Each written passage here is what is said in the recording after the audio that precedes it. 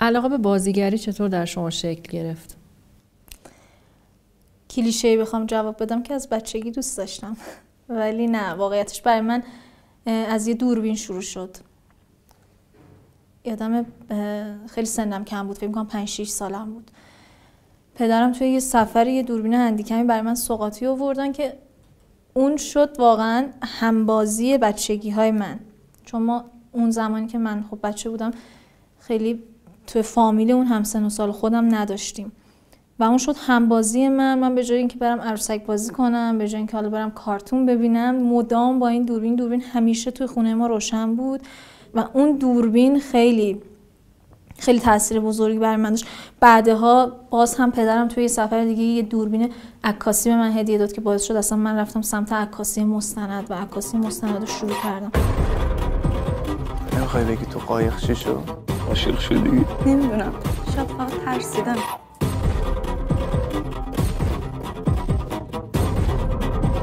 نباید با دختر ادامه بدی. بازی تمومه. برای چی داری تلاش می‌کنی؟ چطور بازیگری رو به شکل حرفه‌ای شروع کردین و انتخابش کردین؟ من دوست داشتم که برم هنرستان ولی یه تصور بعدی اون موقع وجود داشت که فکر می‌کنم خوشبختانه الان خیلی کم رنگ شده. که کسی که درسش خوبه نباید بره هنرستان. منم از این قاعده مستثنا نبودم. تصمیم گرفتم که خب حالا که هنرستان نشده برم انسانی. و رفتم ارتباطات خوندم. رفتم ارتباطات خوندم و خیلی تجربه خوبی بود روزنامه نگاری برام. خیلی یعنی یه استاد داشتیم همیشه به ما میگفتش که توی روزنامه نگاری یه تجربه زیسته به دست میاری که یه آدم عادی شاید اگر صد سال هم عمر کنه اون تجربه زیسته رو به دست نمیاره یه جاهایی میری یه آدمهایی رو می‌بینی که تو زندگی عادی امکان نداره ببینی یا امکانش حداقل خیلی کمه. آدم مطبوعاتی بعد زندان یه چی دیگه میشه. چی میشه؟ نمی‌دونم چی میشه. ولی به کلی عوض میشه. یعنی اونی که بود دیگه نیست. از اون طرف من دوستان تئاتری خیلی داشتم و تمام اوقات فراغتم و با اونها یا توی پلاتوها بودم اونا تمرین می‌کردن همیشه بودم همیشه می‌رفتیم. هر تئاتری که اجرا می‌رفت توی هر تماشاخانه توی این کشور توی تهران ما می‌دیدیم. همیشه سرگرمیمون صحبت کردن راجع به سینما فیلم های مهم دنیا هم اینا بود. و این ارتباطه اینکه دوروورم این آدم ها بودن و این فضای خیلی خیلی باعث شد که انگار منو یهو یاد رویای بچگی انداخت. تو همین جمع هاشون که بودم یه بار دیدم که آقای محمودی آقای نوید محمودی می‌خواستن یه فیلم سینمایی بسازن از همینجا ازشون تشکر می‌کنم. تو ابتدای مسیر خیلی به من کمک کردن. رفتن که تست بدم منم باشون رفتم. رفتم که همینجوری تست بدم ببینم مثلا چی میگم بهم. من گفتن که خیلی به درد این حرفه می‌خوری و خیلی می‌تونی تو این حرفه موفق باشی و حیفه. وقتی که این توانایی و این پتانسیل توی تو وجود داره همینطوری بری تست بدی. حالا ممکنه از قبول بشی یه جایی بری بازی کنی ولی آموزشی ندیده باشی. این علاقه و این استعداد و این مقدار هدفمندتر و دوی اصول درستتری پیش ببر. و من بهشون گفتم که خب چیکار کنم و مؤسسه کارنامه رو به من معرفی کردن رفتم کارنامه. خیلی تجربه خوبی بود تا اینکه همون روزا بود فکر می‌کنم متوجه شدم که آقای محمودی دارن یه فیلم سینمایی می‌سازن فیلم سینمایی هفت و نیم که قصه یه سری دختره. باشون تماس گرفتم رفتم دفترشون گفتم که یادتونه من چند سال پیش اومدم بهم گفتید که استعدادشو داری می‌تونی موفق باشی برو کلاس. الان نه تنها رفتم کلاس کلی هم حالا تئاترای کوچولوی کارگاهی کار کردم کلی تجربه فیلم کوتاه دارم. خیلی خیلی تجربه خوب بود. خیلی خوشحال شدم. گفتن که آفرین من خوشحالم که رفتی پیگیری کردی. و یکی از نقشای فیلم هفتانیمو به من دادن. اپیزود اول اپیزود شبانه نقش هدیه رو داشتم. من یه ماه رو مخ این شبنم کار کردم. هزار تا داستان براش چیدم تا قبول کرد بری پیشش. به خدا این کارت مهاجرت تو ندیده بود قبول نمی‌کنم میگم من قبول نمی‌کنم این کار بکنم. کارت تو دید باورش شد مهاجری تو مهاجرت این اتفاق افتاده قبول کرد. حالا تو خرابش کن. فکر می‌کنم سال 96 بود اگه اشتباه نکنم. یک سال بعدش برای شبکه دو سریال ماهرمزونی ساختنشون و صدام کردن رفتیم اونجا هم کار کردیم با هم دیگه. تا اینکه بعد از دلدار که دومین تجربه همکاری بود با ایشون یه مدتی تصمیم گرفتم کار نکنم. به جان تو خودت که دیدی هیچ کدوم از این خونه به درد نمیخور. چی داری میگی به او به اونا؟ پس دیگه اسم بچه رو جلو من نمیاری. چه ربطی داره؟ چه ربطی داره؟ تا وقتی که نریم سر خونه زندگی خودمون دیگه نمی‌خوام حرفش رو بشنوم. تا اینکه دوباره در نقش صحرا صراف جلوی دوربین رفتید چطور برای این نقش انتخاب شدید؟ نقش صحرا صراف خیلی جالب بود. انتخاب شدم. دقیقا یه تایمی بود که دوباره تصمیم گرفتم کار کنم. و خودم رو آماده می‌دیدم. البته که این مسیر آموزشی هیچ وقت واقعا قطع نمیشه. من همیشه فکر می‌کنم باید یاد بگیرم. ولی شروع کرده بودم می‌رفتم تست می‌دادم جاهای مختلف. یکی از دوستانم یکی از دوستان و آشنایانمون به من گفتن که آقای مقدم دارن یه سریالی می‌سازن و دارن شروع می‌کنم من ازشون خواهش کردم که اگه میشه من می‌خوام برم تست بدم. رفتم دفترشون اولین بار و تست دادم. اولین بار که خیلی خیلی واقعا دلسوزانه و پدرانه با من صحبت کردن. بیشتر راجع به خودم حرف زدن. اصلا خیلی به نقش و فیلمنامه و اینا هیچ اشاره نکردن که من برگشتم خونه به مامانم گفتم فکر می‌کنم انتخاب کردم بازیگرشون رو. چون آقای مقدم اصلا راجع به فیلمنامه و نقش با من صحبت نکردن. بیشتر راجع به خودم حرف زدن. و احتمالا کنسله. ولی خب خیلی خوشحالم که آقای مقدم رو دیدم و باشون حرف زدم. بالاخره همین تست دادن ها به آدم خیلی کمک می‌کنه. کمتر از یه هفته بعد دوباره بهم زنگ زدن. دوباره بهم زنگ زدن و این دفعه رفتم و این دفعه آقای علی طالب آبادی نویسنده کار هم کنار آقای مقدم بودن. تست ازم گرفتن. من از این آدمای مغرور از خودرازی رو به حساب نمیارن. چرا دارین کمکم می‌کنین؟ چون مطمئنم بیگونه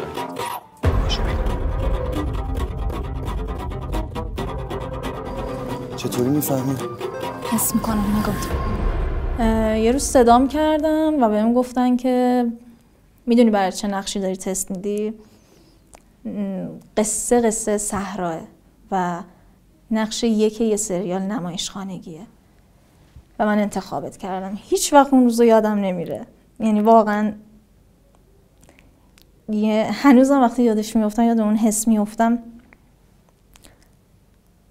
خیلی حس عجیبی بود. یعنی احساس کردم که بعد از مدت ها خسته نشدن و ادامه دادن بالاخره نتیجه گرفت می‌خوام توی آغوش خودت آروم بگیرم. من دوستت دارم. میشه تو هم به همه بگی دوستم داری؟ بعد از اینکه فیلمنامه رو خوندید نقش صحرا صراف به نظرتون چه جذابیت و چالشهایی براتون داشت؟ اولین باری که دیگه به طور جدی با آقای مقدم راجع به نقش صحبت کردیم یادم آقای مقدم خیلی سختگیرانه به من گفتن که این نقش یک یک سریال نمایشخانگی قصه قصه صحرا و اگه خوب نباشه هر چقدر ما تلاش بکنیم دیگه در نیومده. و باید خیلی تلاش کنی و اصلا اینجوری نیستش که فکر کنی که من قرارداد رو بستم تموم شد. من اگر دوست نداشته باشم و به اون چیزی که توی ذهن من نزدیک نشی وسط فیلم برداری هم عوضت می‌کنم. و یه ماجرایی که صحرا برای من داشت اصلا کلا انتخابش همونقدر که به من نزدیک بود همون قدم دور بود. یعنی یه دور نزدیکی بودش که خیلی برای من چالش داشت. آره با روزنامه نگار بود. منم سالها قبلش تجربه روزنامه نگاری داشتم. این فضای خب خیلی جذاب بود. من باید دوباره برمیگشتم به یه زندگی که گذرونده بودمش و سعی کرده بودم فراموشش کنم و وارد یه هیته دیگه بشم. حالا دوباره بعد اون تجربه ها رو برای خودم زنده می‌کردم. ولی از یه بابت هایی که خیلی هم چالش داشتیم خیلی دور بود. خب آقای مقدم تاکید داشتن که صحرا می‌خوایم که یه حالت حالا اگه تعبیر درستی باشه خیلی رفتارهای ظریف دخترانه نداشته باشه. یه حالت همونطور که تو طراحی لباس هم داریم می‌بینیم یا فرم موها یه حالت رفتارهای یه مقدار شاید پسرونه اگر بخوام بگم نمی‌دونم تعبیر درستیه یا نه. حتی توی مدل حرف زدن. ما یه مدت طولانی تمرین می‌کردیم برای اینکه من مدل حرف زدنم خب خیلی آروم بود. خیلی به تعبیر ایشون دخترونه بود و ایشون می‌خواستن که من خیلی تندتر با یه ریتم خیلی بالاتر و با یه لحن خیلی کوبنده تری حرف بزنم. این خیلی چالش بزرگی برای من بود. حالا من تجربه کوچولو کوچولو داشتم توی مدیوم های مختلف تئاتر فیلم کوتاه سینمایی سریال. و نقشی که انقدر پررنگ باشه و انقدر تفاوت داشته باشه و اینکه تو بتونی این راکورد رو حفظ کنی خیلی چالش جدی بود. و یه جوری به خودم قول داده بودم که از پسش بر بیام. روز اول فیلم برداریم همش حتی میگم تا روز اول فیلم برداری به خودم می‌گفتم شادی ته صحبت هایی که کردید خوب نباشی. الان باید چمدون تو جمع کنی برگردی تهران. ولی خیلی خوب بود. یعنی وقتی که تموم شد آقای مقدم بهم گفت اصلا انتظارشو نداشتم. یک ویژگی دیگه این کار این بود که شما با خیلی بازیگران پیشکسوت و مشهور هم بازی شدین برای شما به عنوان بازیگری که کم تجربه بودین این چه این هم بازی شدن چه احساسی داشت؟ و آیا کمکی به شما می‌کرد حضور این همه چهره پیشکسوت توی کار؟ جزیره مجموعه خب خیلی پربازیگری بودش و خیلی یه شانس بزرگی آوردم که تونستم با یه طیف زیادی از بازیگرایی که با سبک های مختلف از دوره های مختلف بازی کنم این خودش واقعا تجربه لذت بخشی بود. من یادمه که وقتی که متوجه شدم نقش شاهنگ بزرگ و استاد زنجانپور بازی می‌کنن انقدر ذوق کردم که از همونجا زنگ زدم به مامانم گفتم مامان می‌دونی نقش شاهنگ بزرگ که قرار بازی کنه. استاد زنجانپور واقعا برای هر بازیگری باعث افتخاره که تو پروژه‌ای باشه که ایشون هستن و خب این حالا درسته من بازی من یه جوری بودش که من توی کیش که خب با خانواده شاهنگ خیلی بازی نداشتم و این سمت با گروه خودمون در واقع بیشتر بودم و تهران هم به نوعی میشه گفت همینطور. ولی توی یک گروه بودن و یک کار کنار هم یک پروژه رو انجام دادن خب این تجربه تجربه لذت بخشی بود. همتون بهترین ها هستید تو حرفتون برای همینه که تو کلام هستید. از امروز یک عضو با سابقه و کار درست به جمع ما اضافه میشه. معرفی می‌کنم. خانم صحرا صراف. و درست نقش مقابل شما بازیگری بود که نقش اولی بود مثل خودتون. آقای مقارم اولین تجربهشون بود توی سریال. این تعامل بین شما و نقش مقابلتون چطور شکل گرفت؟ چه بده بستون هایی داشتین توی بازیگری با هم؟ آقای مقاره فرایند انتخاب ایشون یعنی تا اونجایی که من اطلاع دارم قرار بودش که نقش ارشد شاهنگ رو هم یک بازیگری بازی کنن که ناشناخته یعنی چهره نباشن. و اون صحبت های اولی که می‌شد و موازات این که حالا برای من من می‌رفتم تست می‌دادم و می‌دیدم بقیه آدم ها هم میان و تست میدن دخترهای جوونی که می اومدن هر بار من استرس داشتم که من که انتخاب شدم پس چرا اینقدر دوباره هی دارم میان و تست میدن؟ همین ماجرا برای نقش ارشدم. بود حتی یه چند تا انتخاب بود که این اواخر دیدم یه نفر از اون گزینه های سریال تلویزیونی دیدم ازشون پخش شد. من تمرینمو می‌کردم تا اینکه یه روز آقای مقدم من صدا کردم و گفتن نقش ارشد شاهنگ انتخاب شده.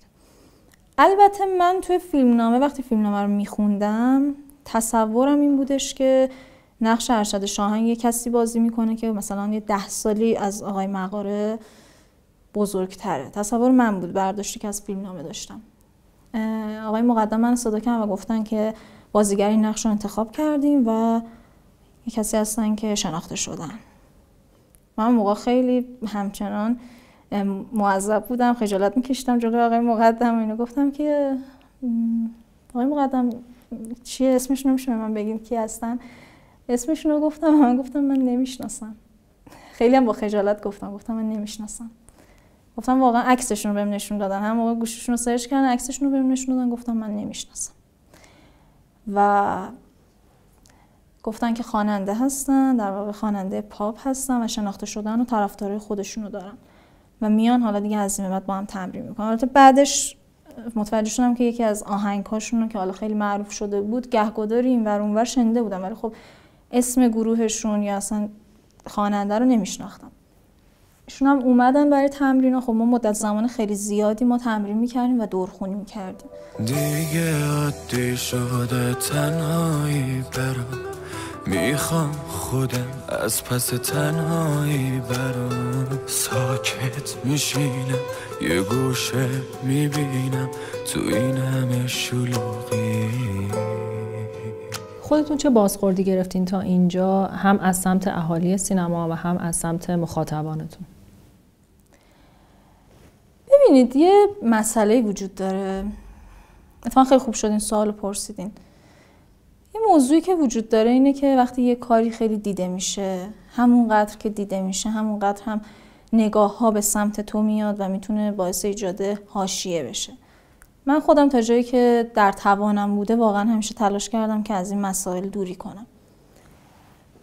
یه بحثی وجود داره. یه وقتی می‌بینید که یک سریالی یک فیلمی پخش شده و اون موقع حالا نظرات میاد. یه بخشی هم از قبل از پخشه. من یه تجربه قبل از اینکه اصلا سریال پخش بشه داشتم. یعنی من معرفی شدم به عنوان بازیگر نقش صحرا و هنوز قسمت یک سریال هم پخش نشده بود.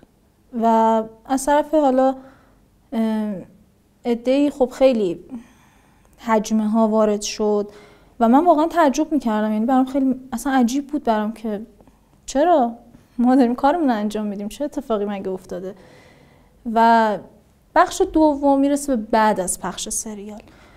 بعد از پخش سریال نظرات متفاوت بود. ممکنه یه عده‌ای خیلی این سریال رو دوست داشته باشن و بیننده پروپا قرصش باشن طرفدارش باشن. یه عده‌ای ممکنه که انتقادهایی داشته باشن. انتقادها خیلیاش به بازیگر ارتباطی نداره. مثلا برای مثال مردم از ما می‌پرسن که چرا تو توی اوج گرما توی کیش لباس زمستونی تنت می‌کنی؟ یا چرا موهات پسرون است؟ خب اینا اصلا به بازیگر ارتباطی نداره. یک پروژه محصول خرد جمعیه. ما آدم های متخصص میان دور همدیگه جمع میشن یه پروژه رو راه اندازی می‌کنن و ادامه میدن. اینکه من چی بپوشم چه جوری جلوی دوربین ظاهر بشم اصلا به من بازیگر ارتباطی نداره. یه بخشی این مسائل یه بخشی هم می‌رسه به تعریف ها تعریف هایی که واقعا از مردم ممنونم. واقعا ممنونم. اصلا فکرشو نمی‌کردم. یک هزارم این حجم از محبت رو هم انتظار نداشتم. من می‌خوام اذیتشون کنم. پس ما هدفمون مشترکه. فقط نیتمون متفاوته. بچه رو دست ندیم تو دستم. به یه شرط. نابودی کل خانواده شاهنگو میدم بهت. الا یه نفر. قبول.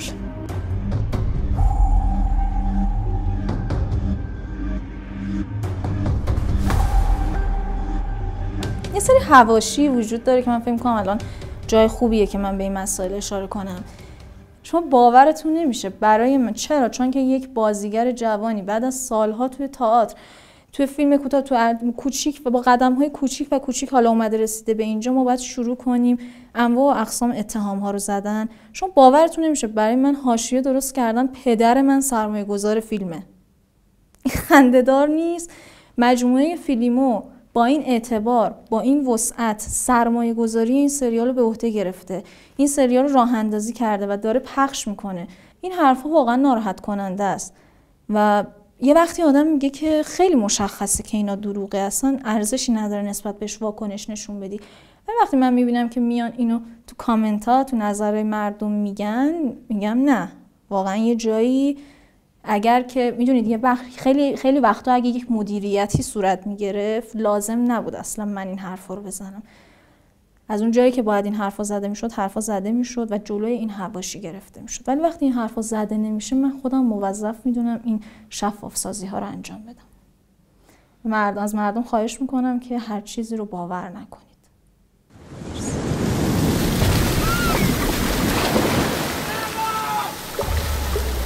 بین سکانس های سریال کدوم سکانس برای خودتون جذابیت بیشتری داشت؟ کلا اون بخش دریا و این گیر افتادن توی دریا بخشی بودش که ما خیلی تمرینش می‌کردیم چون تماما با پرده سبز اتفاق افتاد و خب ما هر دو بازیگر تجربه های اولمون بود به خاطر همین خیلی برای آقای مقدم مهم بودش که این صحنه ها خوب در بیاد ما خیلی تمرین کردیم و یکی دیگه از سکانس هایی که خیلی خیلی برام جذاب بود و اصلا یه چالشی بود برام از همون موقعی که دورخانی می‌کردیم من همش پیش خودم تصور می‌کردم که خودم باید حتما انجامش بدم. ولی وقتی رسیدیم به فیلم برداری خیلی اصرار داشتم با آقای مقدم که خواهش می‌کنم اجازه بدید من خودم این سکانس رو بازی کنم. ایشون می‌گفتن که خب شرایط دریا ناامنه ما کنار اسکله بود لوکیشنمون. توی دریا قشنگ می‌دیدیم پر از توتیا خرچنگ ها رو کاملا روی سطح آب می‌دیدیم و می‌گفتن که این با این ارتفاع و این شرایط من اجازه نمیدم که خودت این کار انجام بدی. خب من بهشون می‌گفتم که من اطمینان خاطر بهتون میدم که اتفاقی نمیفته اجازه بدید خودم انجام بدم که بتونم قسمت های بعدیش با حس بهتر و درستتری بازی کنم.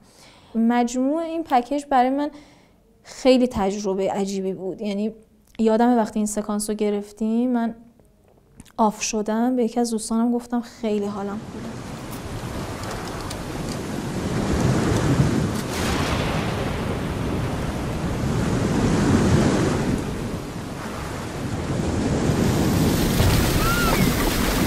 یه سکانس دیگه هم داشتیم که خیلی سکانس عجیبی بود و خیلی به لحاظ جسمی و حتی به لحاظ روحی خیلی به من فشار وارد کرد. سکانس نجات بود. من با اون گاری ارشد رو می‌کشم. شما تصور کنید به هر حال بازیگر نقش یه وزنی داره اون گاری یه وزنی داره بعد روی شن و ماسه قراره اینو بکشی و یه سنگینی عجیب و غریبی که در حالت عادی امکان نداره که من بتونم اینو بکشم. ولی تجربه خیلی خوبی بود و جز سکانس هایی بودش که احساس کردم خیلی خیلی تغییر کردم بعد اون سکانس. یعنی فکر می‌کردم به لحاظ تجربه بازی و حتی تجربه روانی خیلی به من کمک کرد و تجربه عجیبی بود.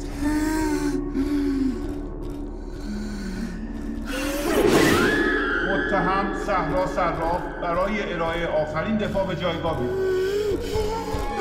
کابوس. کابوس صحرا خیلی سکانس عجیبی بود.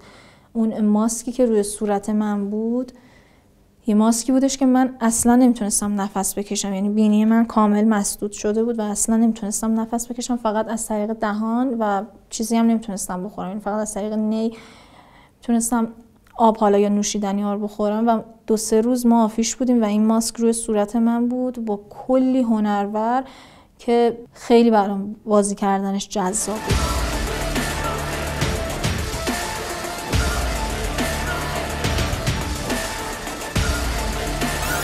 برنامه شما برای ادامه مسیر حرفه بازیگریتون چیه؟ قصد دارین چه مسیر رو طی بکنین؟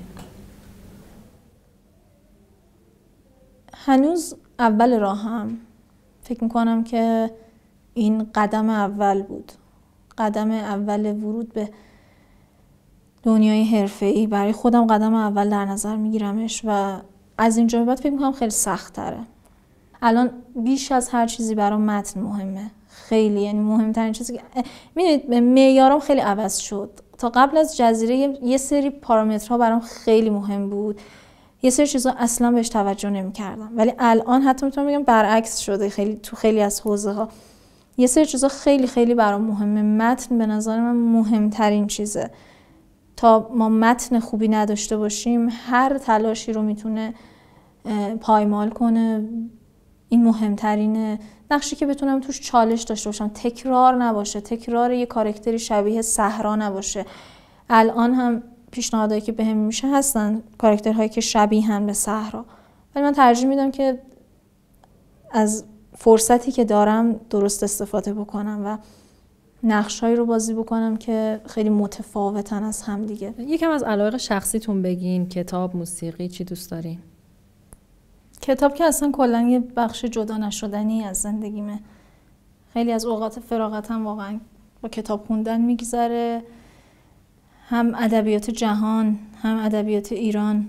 خیلی تو ادبیات ایران اگر بخوام بگم نویسنده خیلی زیادی هن غلام حسین ساعدی سمد بهرنگی صادق هدایت عباس معروفی بزرگ علوی. خیلی محمود دولت آبادی اینا کسایی که واقعا فکر می‌کنم خوندن نخوندن کتاب هاشون واقعا یه لذت خیلی زیادی رو می‌تونه از آدم بگیره و دریغ کنه. پیشنهاد می‌کنم همه بخونن. تو ادبیات جهانم که هرمان حسه رو خیلی دوست دارم. خیلی تعدادشون خیلی زیادن. کلا هیچ وقت خودم رو توی مطالعه محدود نمی کنم سعی می کنم که حتی اگر سب... یک سبکی از نوشتن برام جذاب نیست خودم مقید می‌کنم بخونمش چون فکر کنم هیچی به اندازه مطالعه تخیل آدم رو تقویت نمی‌کنه.